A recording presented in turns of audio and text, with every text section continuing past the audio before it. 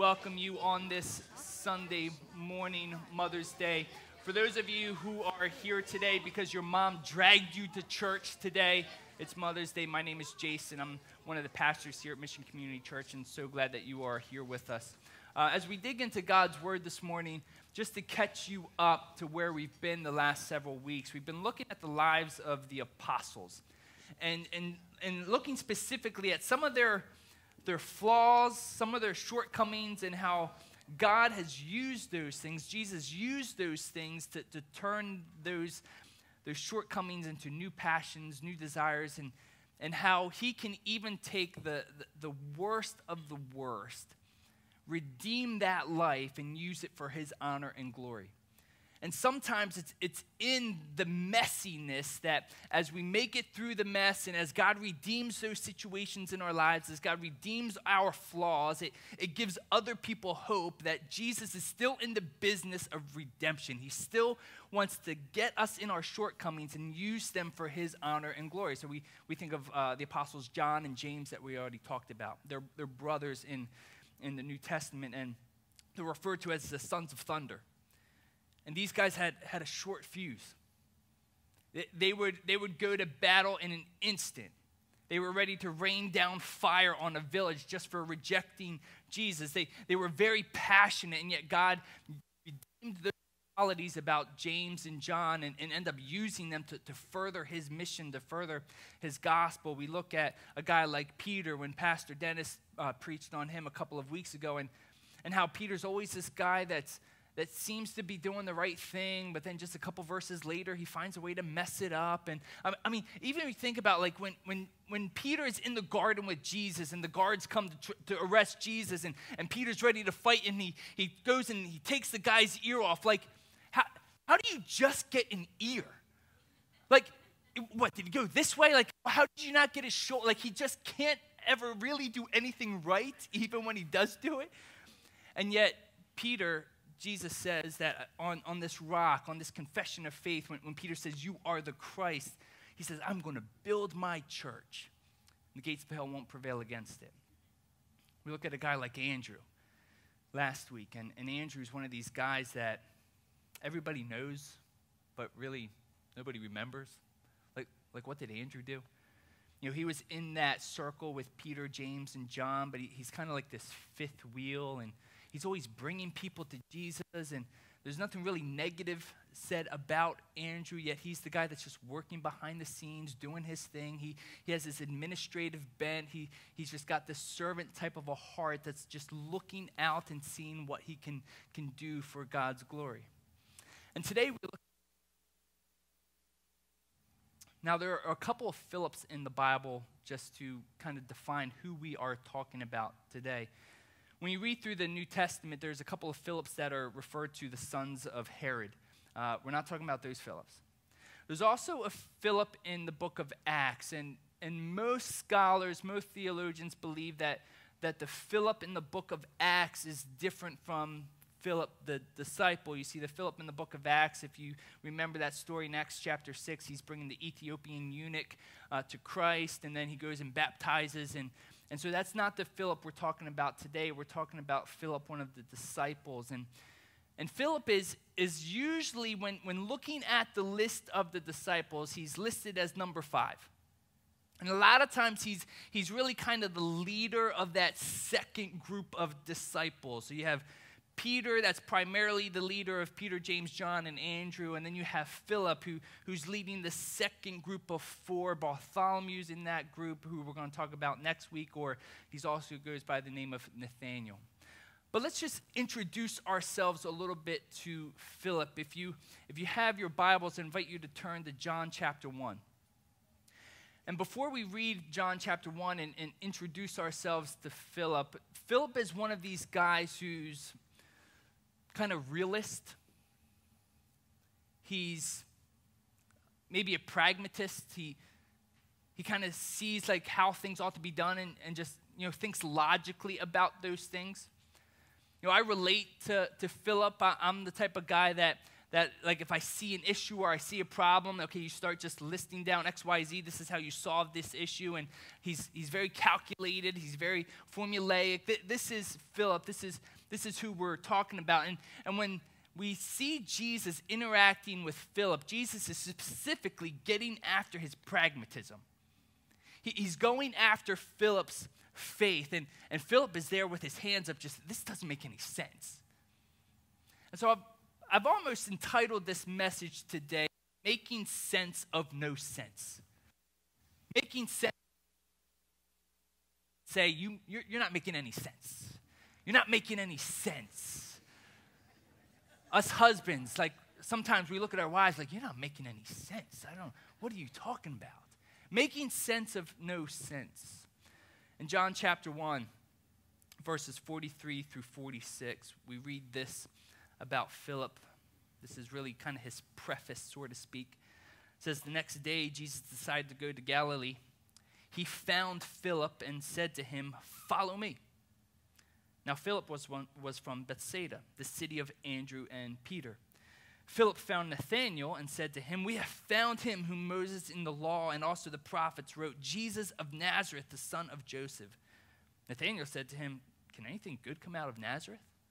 We're going to dig into that phrase next week because there are some prejudices that Nathaniel has that, that God ends up redeeming for his honor and his glory, but that's for next week. And then Philip said to him, Just come and see.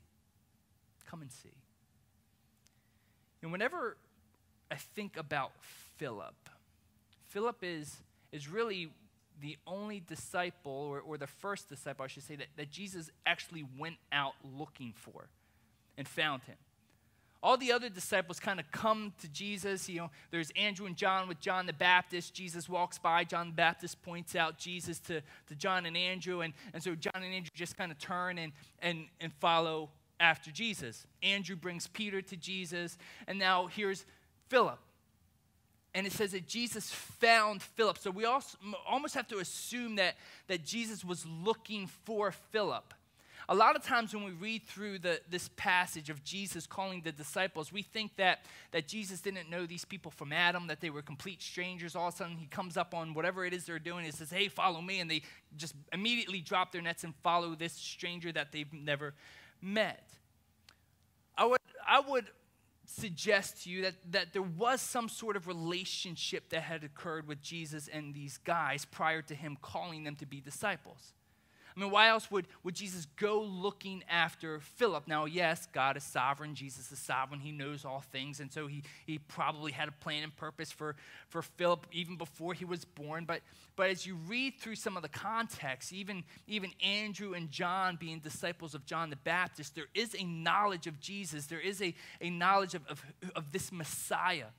And as they're living in this area of Nazareth, of the Sea of Galilee, Galilee there, there's most likely a connection there. But it says that Jesus went and found Philip. Philip turns and, and then goes after his friend Nathanael. Say, hey, Nathanael, we found the Messiah, the, the one that the Old Testament prophets have been talking about. We, we found him. Come and see.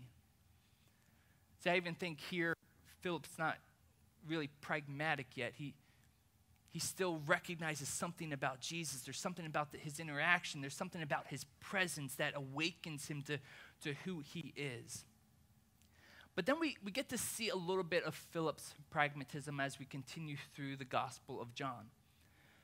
John is really the only writer that records anything about Philip. We, we see Philip in a, in a list of all the other in all the other gospels, but, but nothing really specific to him. And so we have to look at really two passages in the Gospel of John to really learn a little bit more about Philip. And so if you have your Bibles, I invite you to turn to John chapter 14. John chapter 14, and, and this is where Jesus begins to give us a little bit of insight of, of just Philip and his, his pragmatism, his, his rationality, his, his logical thinking. John chapter 14, verse 1, it says this Jesus is speaking to his disciples, and he says, Let not your hearts be troubled. Believe in God, believe also in me. You have to understand what, what's going on here. Here. Here's Jesus with his disciples. They're in this upper room. They're sharing this last meal. This is just, just before, hours before Jesus is arrested and, and taken to trial. And so leading up to this specific point in the conversation, there are three things that Jesus had already told the disciples that, that's leaving them anxious, leaving them questioning what's going on. Jesus says that, that he will die. And this completely goes against what, what they thought the Roman Empire. The second thing is that Jesus will be betrayed by one of them. And so they start talking. They start talking through different, um, different disciples and who's going to be the one that betrays. Is it I, Lord? Is it me? Is it me? And they start asking each other, Is it you? Is it you? Just bear with me for one moment as I switch this over. Jesus will be betrayed by one of them. And then the third thing that Jesus talks to his disciples in this upper room is that Jesus announces to Peter that you, you're going to deny me three times. They're having this conversation who's going to betray you? Peter says, I'm never going to betray you. And Jesus looks at him and says, No, no, actually, you are. Before the alarm goes off, you're going to deny me three times. And so, so the disciples are anxious, they're worried. And Jesus gives them this command let not your hearts be troubled. It, it's, a, it's a present imperative. It is a command that's in the passive voice. So, in other words, to say, stop stressing out, which tells us that, that we are in control of our emotions that when we find ourselves in seasons of stress, of anxiety, of despair, that, that there are things that we can do to control our emotions. And, and Jesus is saying to the disciples, stop stressing. Let not your hearts be troubled. That God doesn't give commands where we don't have the capabilities to follow through those commands. So he, here's the context. Let not your hearts be troubled. And, and, there's really three reasons that Jesus goes through this John chapter 14 passage of, of why they can be sure of who Jesus is and, and how they can be sure to, to let not their hearts be troubled. It's, it's because of who you know. Like, like, remember who it is that you're with right now. He says in John chapter 14, verse 1, the second half, believe in God, believe also in me they have been doing ministry with Jesus for three years, seeing him do incredible things. I mean, incredible things. Like you believe in God, believe also in me. Like I like just by nature of what I've done, you should have confidence in, in who I am. Another reason why you can be confident in me is, is because of where you will go. He continues in verse 2 In my Father's house are many rooms. If it were not so, would I have told you that I go and prepare a place for you? In the New Testament, and specifically Jesus, he talks on heaven 532 times. And here specifically, he, he talks about heaven in, in more of a relational context than a, than a geographic one. He's talking about, you know, in my father's house there are many rooms. Some versions in, of the Bible, specifically the, the King James Version, they say many mansions. You know, I've been taught this all growing up in, in my church context, in my church background, that, that God is preparing me this, this big, gigantic mansion in heaven. And then, and then as you look at translations, as you look at just better you know, languages and tools that we have to uh, decipher what this, this Greek language is all about, it's, a better translation is really rooms, many rooms. It, uh, it kind of disappoints me a little bit. I was like, I was ready for a mansion. You know, I was ready to, you know, kind of pull up this long driveway, like statues of myself welcome me on the way in, like golden trim. But, but no, it's, it's this relational. Now, don't let, an actual better translation is apartment. That I go to prepare an apartment for you. Does that disappoint anyone? But I would rather take God's apartment than the devil's mansion that, that this apartment is way bigger than, than the concept of an apartment that we have today? Think about this that, that in Revelation that the, John gets this vision of heaven and, and this is what we know about, about this vision of heaven that that do you know that this earth that we live on today is going to be destroyed one day?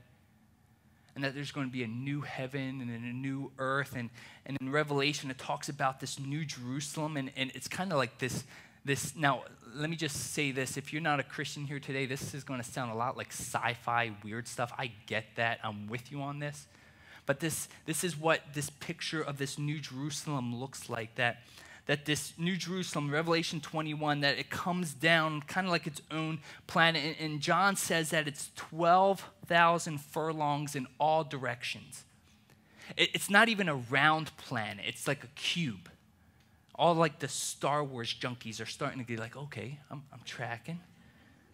That, that in, it's, it's 12,000 furlongs in all directions. That's 15,000 miles cubed. That's 2,250,000 square miles, 15 times the size of London. That's, that's just New Jerusalem. That's not even the new heaven, new earth. That's just New Jerusalem. And so there's this guy named Henry Morris that kind of describes it this way with all these calculations. He, he says that, that you could safely take on 20 billion inhabitants while only utilizing 25% of this planet for dwelling places. The remaining 75% would be for whatever, culture, farming, all, all these other things. That there's this belief in our eternal state that, that much like Jesus' resurrected body, that we, we will be able to travel both horizontally and vertically. And th- this is just the capital city. That, that we will have a lot of room in this mansion. It's not like this little apartment complex that we're thinking of today, yet it's in this relational aspect, not necessarily just geographic. That, that we can be confident because of where we will go, but we'll also we can be confident because of what he'll show us. Listen to this in verse 3 that, and if I go and prepare a place for you, I will come again and I will take you to myself, that where I am, you may be also. Colleen went out last night with her grandparents and some of her aunts and um, just had this Mother's Day dinner. And, you know, me being the good husband that I am, once a year I, I, try to make things good for, for Mother's Day. And she's out, and as she's out, me and the kids are, are trying to prepare the house for her. You're trying to get things clean, somewhat orderly, get some laundry done, have the kids put their stuff away. We're, we're trying to prepare the house. God spoke the, the whole earth into existence in six days just by speaking it. Jesus said that he's going to prepare a place for us over 2,000 years ago. So, if he is preparing a place for us and has been doing that for the last 2,000 years, he spoke the whole earth into existence in just six days we can't even gra- we can't even get a taste of what this new heaven and new earth is going to look like. It's going to look way better than a clean house, laundry folded, dishes put away. Like, we have no real conception of, of what this will be like. He goes to prepare a place for us. Just imagine what that would be like. Now, we're getting somewhere here because we're getting to Philip. Just hold on for a minute. John chapter 14, verses 4 through 6, it says this And you know the way to where I am going. So I'm going to prepare a place for you. You know the way I'm going. Thomas said to him, Lord, we don't know where you're going. How can we know where you're going? I just love Thomas and his response in that. Like, like we have no idea where you're going. What, what are you talking about? And Jesus said to him, I am the way, the truth, and the life. No one comes to the Father except through me. He, Thomas is asking the question that everybody's thinking. He's, he's just saying out loud what everything, what everyone else is thinking in their minds. Verse 7 and 8. If you had known me, you would have known my Father also. From now on, you do know me and have seen me. Enter Philip. Enter some of his pragmatism. He says, Lord, show us the Father, and it is enough for us. If you had known me, you would have known my Father also. From now on, you do know me and have seen me. Philip said to him, Lord, show us the Father, and it is enough for us. I'm just thinking realistically here. Show us the Father, and that'll be enough for us. Like, if you think about the Old Testament, they're always wanting to see the Father. They're always wanting to see God the Father. Just show us the Father, and it will be enough for us. I'm very much the same way. Like, like just show me, and it'll be enough for me. Allow me to see it, and it will be enough for me. Just allow me to experience it firsthand, and it will be enough for me.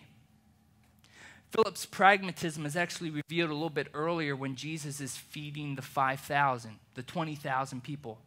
In John chapter 6, we get a little bit more up close uh, example of, of this. In John chapter 6, verses 5 through 7, Jesus tells his disciples to go on the other side of the lake to take a break. We need to get together and kind of learn what we've been doing. They've been out teaching, they're tired.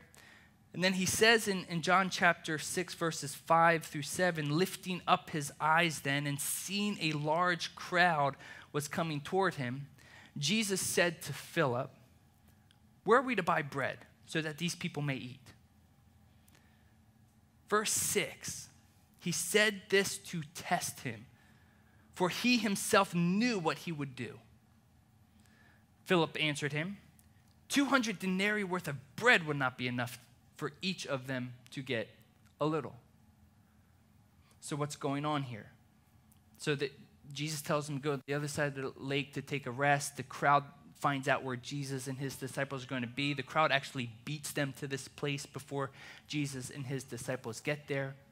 Even during this Passover, where there's more people in the area, there's people traveling to Jerusalem to, to commemorate Passover, that Jesus still has compassion for the people he turns to Philip and say, "Hey Philip, where are we going to get money to feed these people?" I mean, why did why did Jesus ask Philip to begin with? Well, if you remember back in John chapter 1, Philip is from Bethsaida, where they are gathered at this point in the story that they're in the northeast corner of the, the Sea of Galilee, not too far away from Bethsaida. And so I, I, would imagine that, that Jesus is testing Philip specifically, that he knows where all the, all the Taco Mayos are and the chipotles and the In-N-Out burgers. Like, hey, Philip, where are we going to get all the food to feed these people? Philip, knowing the resources and, and being kind of like the accountant type of a personality, starts doing all the calculations in his head, starts formulating, starts looking at the crowd trying to figure out, okay, how, how, how can we do this? 20,000 people, I don't know a, I don't know a restaurant big enough for that. He uh, eventually blurts out, there's not even 200 denarii, 200 days worth of food, eight months worth of wages, wouldn't even buy enough bread to, to even give people a little taste, not even to curb their hunger. And Jesus specifically said this to Philip to test him, to test his pragmatism, to, to see if, hey, are you going to trust me? Are you going to have faith in me? And he, he fails this test. Now, I don't think Philip was doubtful. I think there's a difference between doubt and, and pragmatism. Like Thomas, he, he was the one that we typically recognized as the one who was doubting, but, but Philip, he, he was more of a, of a realist, and, and hence he, he's still trying to find a solution, but trying to find a solution by his own means, his own ability. And, when, and what he missed is that, is that when you add God to any equation, that, that equal sign turns into a whatever. So it's not just five loaves and two fish equals seven. It's it's five loaves and two fish plus God equals 20,000, remainder 12. That when you add God into whatever equation, into whatever impossible situation, that that equal signs turns into one gigantic whatever. When you measure difficulty, as Philip was doing, seeing the vast crowds, seeing the hungry people, limited resources, like, difficulty is ultimately measured by the person performing the duty. And so we're analyzing, we're thinking, we're formulating how we're going to solve this problem. But did they forget that with God, all things are possible? And that there's nothing impossible with God? That he says it on the negative and the positive, just so that we are, are firm in our faith, that we are, are confident that there is absolutely nothing outside of his control. And so Philip is saying, back to John chapter 14, you, you keep talking about the Father, just show us the Father. You, you keep talking about this Father. I want to experience the Father. You're teaching us about the Father. Would you just show him already? And then Jesus responds to him back in John chapter 14, verse 9 Have I been with you so long, and you still do not know me, Philip?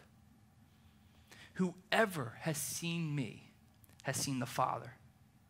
How can you say, Show us the Father? Do you, do you not believe that I am in the Father and the Father is in me?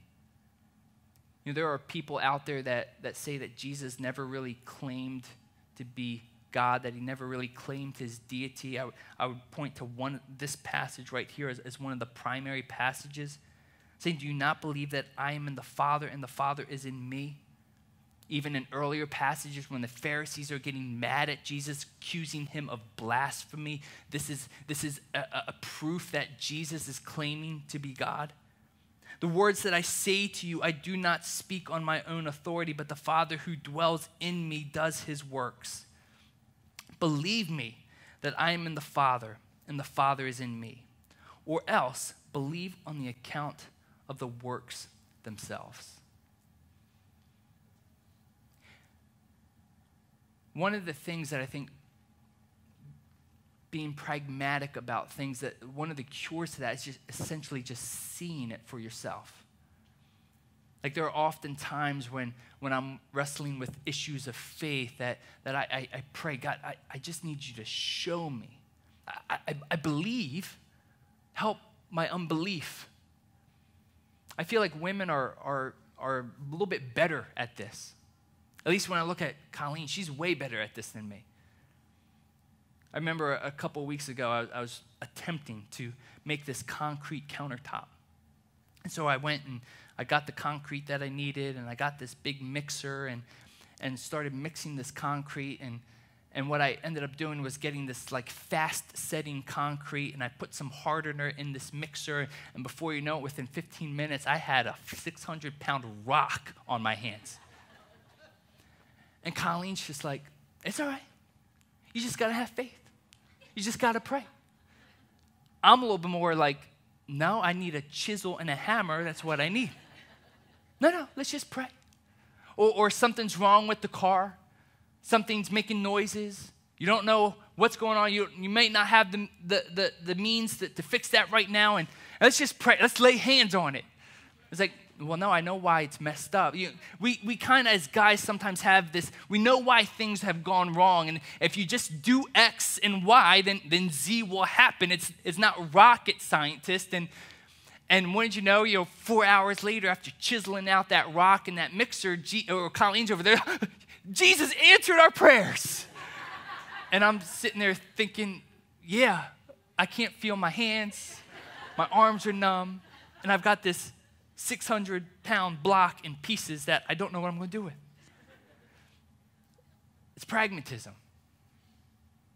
Like sometimes we, we just think too realistically about things and we rob God from working the miracle.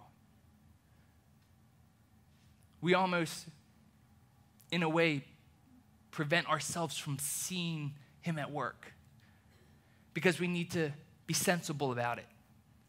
You know, when things don't make sense, we have to make sense of it. Instead of just allowing God to, to work and allowing God to do his thing. And that's one of the things I love about Philip, that, that he's constantly, you know, thinking reasonably about things. He's constantly thinking sensibly about things. And, and Jesus is testing that. He's making Philip face the reality of, hey, I am God. There is nothing outside of my control. Yes, yes, you can do the calculations, but, but faith isn't a formula. It's a matter of just do you trust me? Do you have faith in what I can do? Because the, the math in a miracle is whatever, whatever plus God equals whatever. He's going to do his thing. But how do we fight that today? I like to think sensibly, I like to think realistically. How do we fight that today? And, and is there a way that we can still be maybe biblical pragmatists? Can we still think sensibly and logically, but, but allow room for God to move in unexpected and supernatural ways? I think the first thing that we can do is that we can ensure that our pragmatism is biblical. What do I mean by that? I mean that the goals that we set for ourselves, do they align with biblical principles? Like, are we seeking God in, in, in, the plans that we have for ourselves? That are we pursuing Him? And, and as we pursue Him, He is guiding our paths. Are our goals in light with God's Word? I think the second thing that we can do to ensure that our pragmatism is biblical is do we explore Scripture's specificity, both explicitly and implicitly? So they're, they're the easy ones, right? The, the Ten Commandments, for example.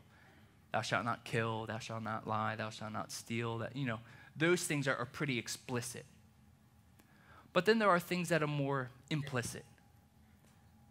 Some might call those gray areas where there's principles, how we're supposed to act towards one another that we are to, to love our neighbors as ourselves. What, what does that look like? That, that, that depends on the context and the situation. There are more implicit ways that we are to go about things. And so, do we explore Scripture specificity when it comes to some of these issues? And then, thirdly, do we work from what is clear in the Bible to what is less clear in the Bible? So there are things that are, are, pretty much outlined for us that are pretty easy to follow, and then there are things that are not so easy to follow. And so a good way to, to even think for ourselves is how can we stay specific and, and work our things to maybe the things that are less clear and use those different biblical principles to apply towards the decisions that we make. But then I think the, the second thing that we must do is to know the difference between wise judgment and just simple obedience the difference between wise judgment and simple obedience. Even when we're looking at scripture, it, it's helpful to understand the context. You know, we're, we're 2,000 years removed from when a lot of these stories that we're talking about. It was a totally different time, a totally different context. Yet, how do the principles that Jesus spoke into the lives of his disciples apply to us today in modern America? in light of technology, in light of just how our culture is. Pay attention to the context. But then we need to examine when a scriptural example is normative. So what that means is that, that they did things certain ways in, in, the, in the early Bible times that we just don't do the same way anymore, simply because of just how culture has changed.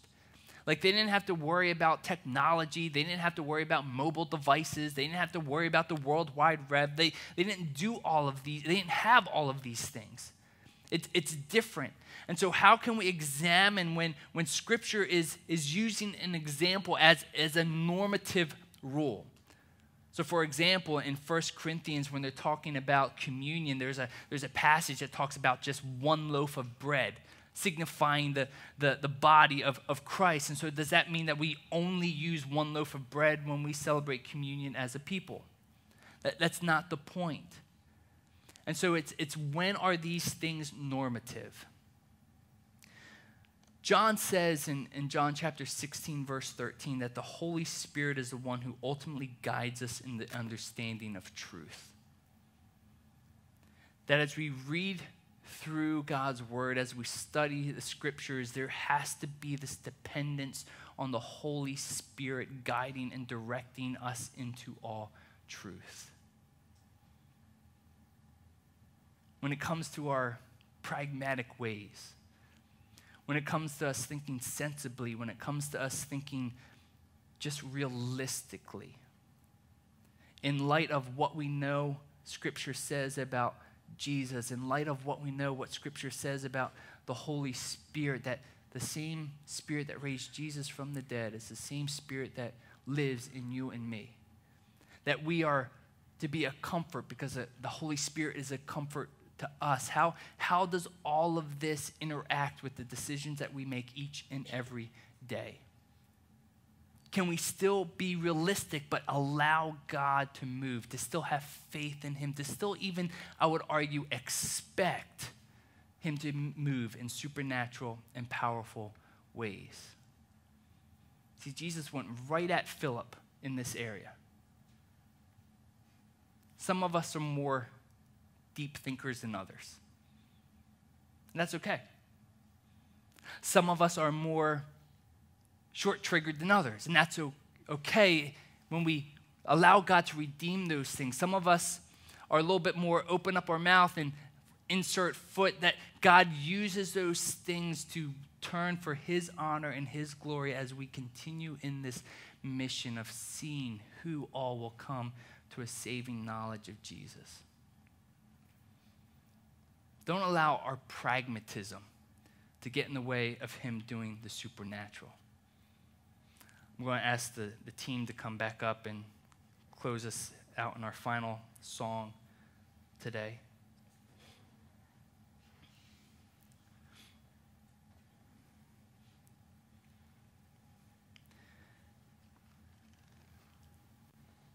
As I think about Philip, I,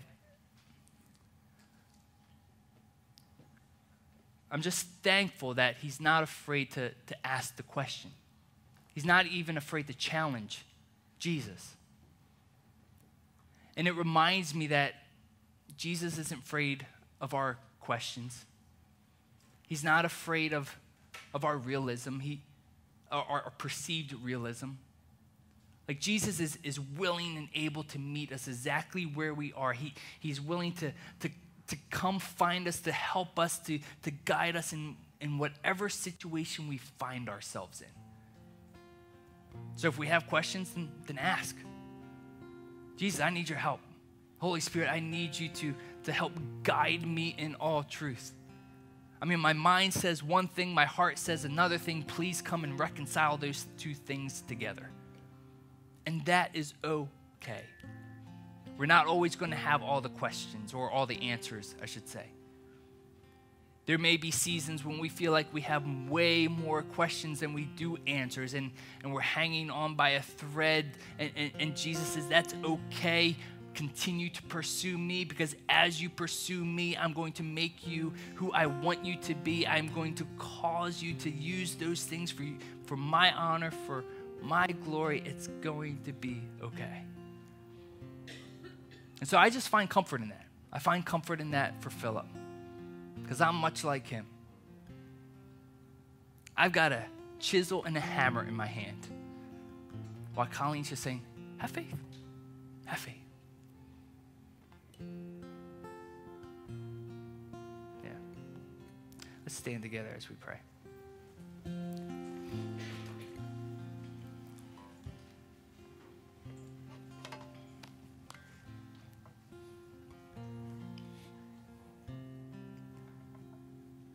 Father, I've often prayed for you to do things just to wake us up, to wake me up. Something that's just so extraordinary, so out of the ordinary, things that can only be explained by your hand being involved in it. I think sometimes, yes, I believe, but I need you to help my unbelief at times.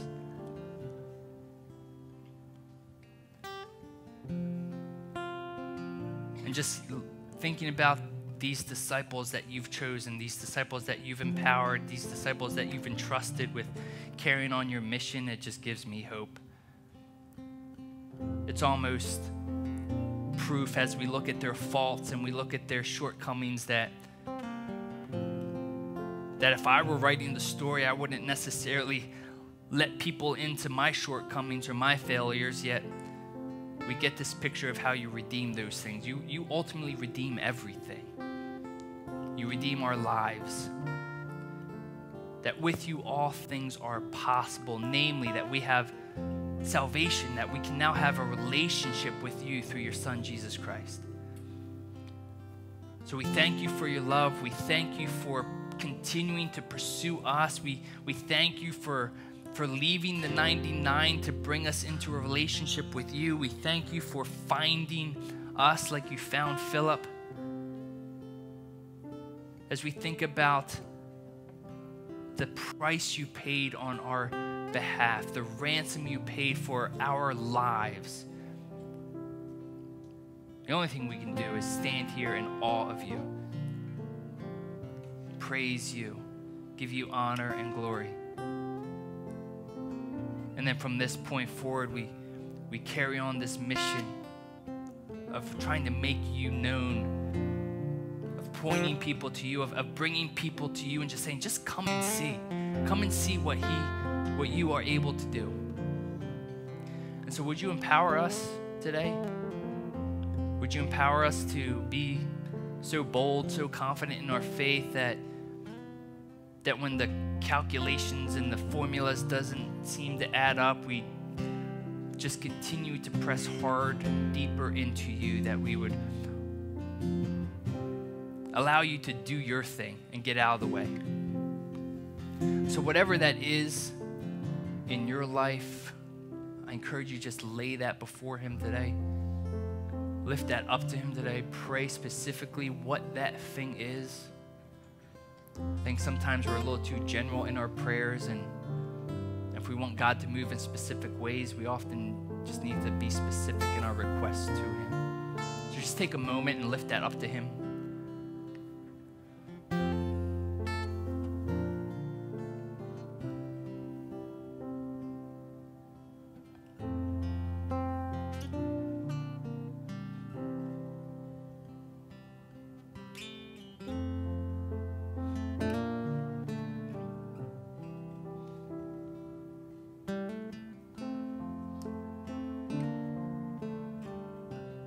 Thank you and praise you for your love.